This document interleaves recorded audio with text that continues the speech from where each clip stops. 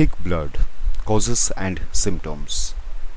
A person with thick blood or hypercoagulability may be prone to blood clots.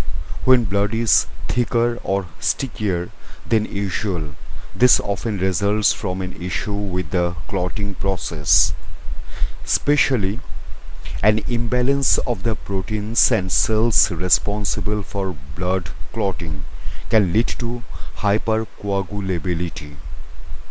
When blood is thick, it can hinder the movement of oxygen, hormones, and nutrients throughout the body, preventing them from reaching tissues and cells. This can cause low oxygen levels in the cells and lead to hormonal and nutritional deficiencies. In this video, we provide a deeper look into how thick blood affects the body, what can cause this issue, and how doctors treat it. Causes The health issue that causes thick blood may be inherited or genetic, or it may be acquired. Developing over time, some medical conditions that cause the blood to thicken include polycythemia vera. Polycythemia vera is a blood disorder that originates in bone marrow, the soft center of the bone where new blood cells develop. Polycythemia vera involves the bone marrow making too many red or white blood cells and platelets, causing the blood to thicken. Experts believe that polycythemia vera results from genetic changes that occur after conception. It is not generally inherited. In other words, the changes tend to occur slowly over many years. Various symptoms may appear over time including fatigue, headaches, dizziness, weakness, sweating, especially at night, itchy skin, blurred vision and ringing in the ears, abdominal fullness or bloating due to an enlarged spleen. Polycythemia vera affects 44 to 57,000 57 percent people. 44 from 57 people in every 1 lakh. And it and it usually appears after the age of 60 years. According to the National Organization for Rare Disorders Waldenstrom macroglobulinemia Waldenstrom macroglobulinemia is a rare type of non-Hodgkin lymphoma. The body produces large amounts of the antibody protein called immunoglobulin M. This can cause the blood to become thick, resulting in a range of symptoms. The symptoms vary, but they may include nosebleeds, bleeding in the gums and the retinas of the eyes as small blood vessels become damaged, anemia, tingling and numbness in the fingers and toes. There are about 1 to 1.5k new diagnoses of Waldenstrom macroglobulinemia in the United States each year, according to the American Cancer Society. Lupus, including systemic lupus erythematosus. According to the Lupus Foundation of America, 1.5 million people in the United States live with some form of lupus. Common symptoms include rashes, joint pain and swelling, fever, fatigue. Systemic lupus erythematosus is an inflammatory disease that happens when the immune system attacks healthy tissues as if they are diseased. It can affect the blood in many ways, including increasing the risk of clotting. Thrombosis A blood clot blocking, blocking a blood vessel is relatively common in the first year of living with systemic lupus erythematosus. This may result from increased disease activity, including high levels of inflammation and other factors. Factor V Leiden. This results from a genetic change that increases the risk of blood clots, especially in deep veins. In most people, a protein called activated protein C regulates the activity of the clotting factor called factor V. In people with this condition, protein C cannot regulate factor V's activity, resulting in thick blood and a risk of clotting. Unregulated factor V activity leads to excessive clotting and thickened blood. Deficiencies in proteins C and S and antithrombin.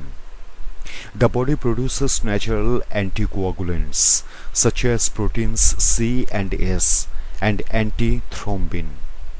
Some people have low levels of these substances leading to a higher risk of blood clots. This may result from an inherited health issue or develop over time. The first sign of this issue is often a blood clot. The doctor may find this during a test. If a clot forms in a deep vein, the doctor may diagnose deep vein thrombosis or DVT. If a clot breaks off and travels to block a blood vessel that supplies blood to the lungs, this is called a pulmonary embolism and it is life threatening. Protein C deficiency affects around 1 in 200 to 500 people. Protein S deficiency 1 in 500 uh, people and antithrombin deficiency 1 in 2000 to 5000 people. Prothrombin gene 20210A mutation. People with this genetic feature have too much of blood clotting protein factor 2, also called prothrombin. Prothrombin is one factor that enables blood to clot correctly, but too much prothrombin can increase the risk of clots forming, including those responsible for deep vein thrombosis and pulmonary embolism. The mutation affects 2 to 4 percent of Americans of European ancestry and around 0.4 percent of African Americans according to the National Blood Clot Alliance.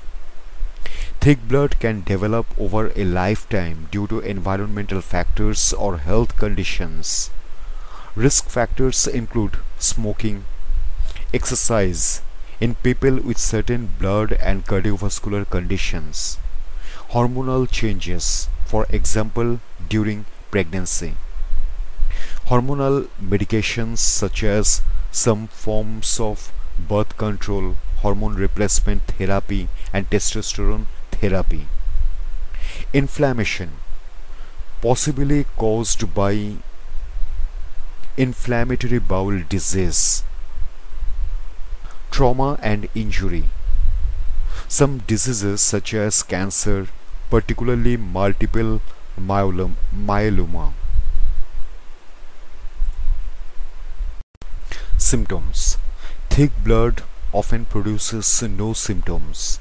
The first sign may be a blood clot or a person may experience symptoms re related to, to the underlying health condition.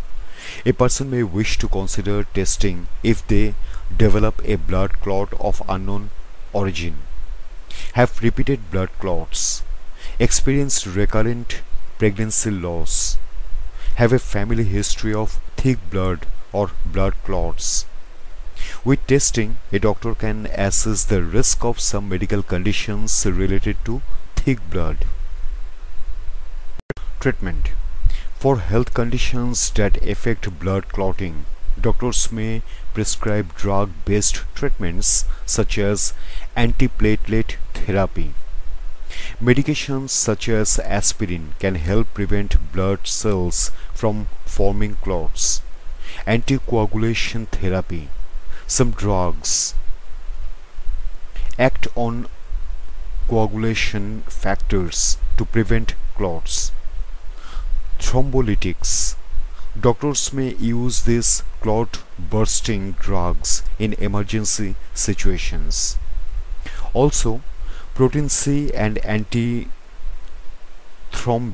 factor may be suitable for some people. A doctor will only prescribe medication if a dangerous blood clot has formed or they suspect that the person has an increased risk, risk of clotting. Doctors may also recommend quitting smoking and avoiding second-hand smoke, losing weight if necessary, doing regular physical activity, avoiding sitting for long periods, moving the legs and feet frequently to support blood flow.